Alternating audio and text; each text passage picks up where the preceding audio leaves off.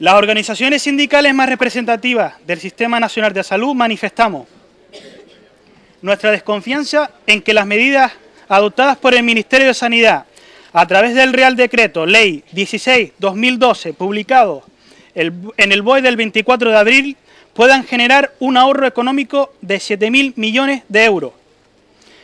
Por el contrario, sí podemos afirmar que generarán desigualdades entre la población y empeorarán las condiciones laborales de todos los profesionales del Sistema Nacional de Salud. El Sistema Nacional de Salud es el servicio mejor valorado por la ciudadanía. Es uno de los sectores generadores del empleo del país, con gran calidad de profesionales.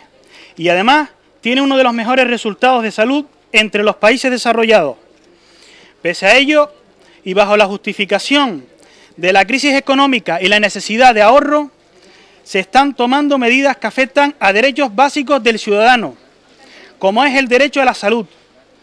Un ahorro en el sector sanitario de este calado puede generar graves consecuencias en la calidad asistencial y en la atención sanitaria. Entre estas medidas se encuentran las que van a ahorrar en los recursos humanos del sistema, es decir, en, en nosotros, los profesionales. Esto repercutirá directamente en los usuarios del sistema, del que todos somos acreedores, y supondrá el cierre de centros, reducción de camas, de equipos, quirófanos, tratamientos.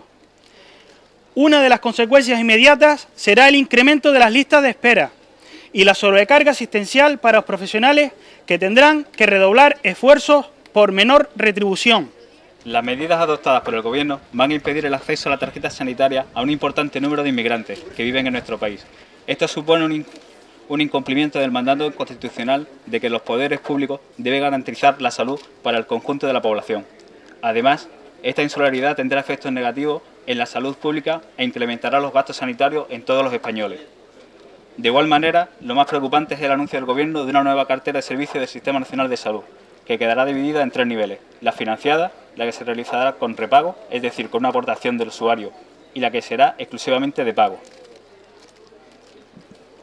Este es uno de los principales riesgos para el sistema, que queda quebrado en su esencia de sistema público y universal, como lo hemos conocido hasta ahora y como lo regula la Constitución y la Ley General de Sanidad.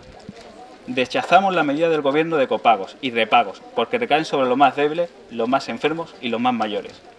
Por primera vez en nuestra democracia, 8 millones de pensionistas participan en el copago farmacéutico y se incrementará la aportación de la mayoría de los usuarios. Las consecuencias serán inmediatas y los pensionistas con menos ingresos y dolencias crónicas dejarán de acudir a las consultas de atención primaria aumentando los riesgos para su salud e incrementando los gastos de hospitalización. Rechazamos los presupuestos del ahorro en necesidades básicas y los recortes adicionales en sanidad, porque nos afecta a todos y la salud no puede ser objeto de mercadeo. Las organizaciones sindicales mayoritarias en el Sistema Nacional de Salud creemos firmemente que existe otra manera de salir de la crisis.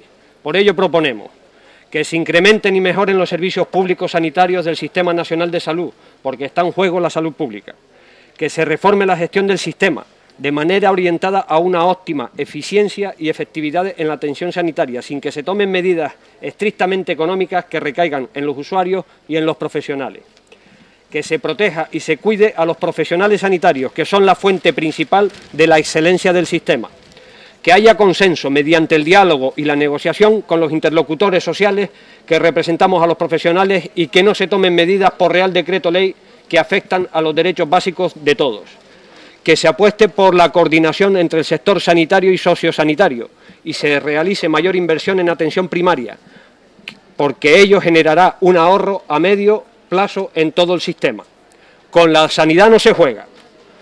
Y ahora ya de paso añadimos que los recortes que vienen del capítulo 1 del Sistema Nacional de Salud nos deriven en salvar y en reflotar entidades financieras afines al Gobierno de la Nación, ¿eh? que es a donde van los 10.000 millones del recorte.